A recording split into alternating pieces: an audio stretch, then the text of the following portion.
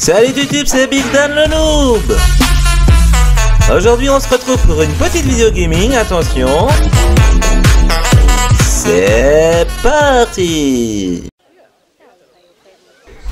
Et on se retrouve sur Planet Zoo pour une deuxième vidéo, à savoir que j'ai débloqué le thème classique, j'ai donc changé quelque peu l'entrée et l'espace euh, où se trouvaient les tortues, je les ai déménagés parce qu'il y avait encombrement, je ne sais pas si vous vous souvenez.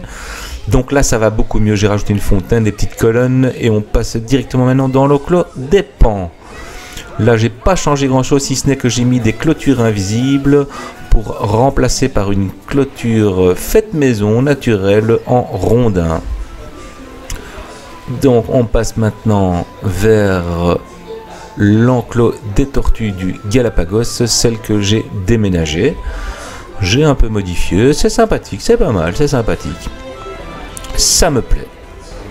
Je dois aussi mettre des clôtures naturelles. J'ai décidé de faire ça maintenant pour tous mes enclos, pour tous mes habitats, mettre des clôtures naturelles. Alors ici un nouvel habitat avec des lémures et des varirous je n'ai malheureusement pas su le filmer parce que vu que je suis Big Dan le Noob, eh bien j'ai effacé la vidéo. Ouais, bravo Bigoudi, bravo. Ah voici les murs. Ah, ils sont sympathiques, ils sont pas mal.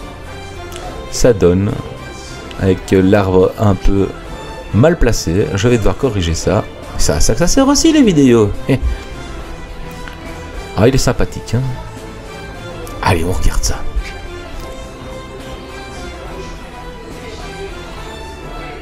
Et voilà un Variro. Donc là aussi, le but, c'est de remplacer ces clôtures par une barrière clôture invisible et mettre des éléments naturels dans le décor. Je trouve ça plus sympathique et puis comme ça, les mécaniciens ont moins de boulot. J'espère que comme ça, ils auront un meilleur rendement. Allez, on voit ça ensemble en accéléré.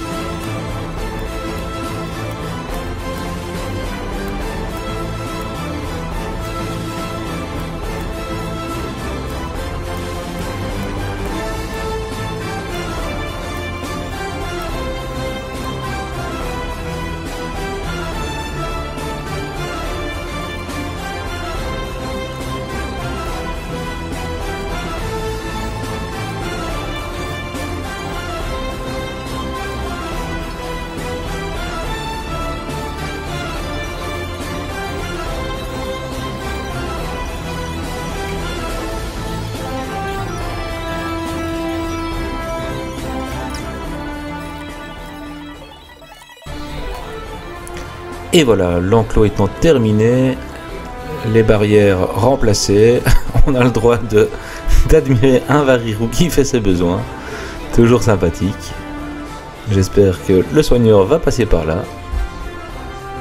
Ceci dit, l'enclos me plaît bien. J'ai réussi à faire ce que je voulais et on continue la visite sur les vivariums. Là, il n'y a pas eu de grands changements. C'est pas encore pour tout de suite. Il y a tellement de boulot que finalement on ne sait plus par où commencer, ni terminer d'ailleurs. Donc les vivariums sont toujours là, on peut encore admirer la place que j'ai modifiée, avec un super escalier qui monte vers la terrasse, et je suis content parce que ma terrasse, elle fonctionne. Et voici un plan large avant de vous laisser là-dessus et de vous dire à bientôt, ciao ciao ciao les amis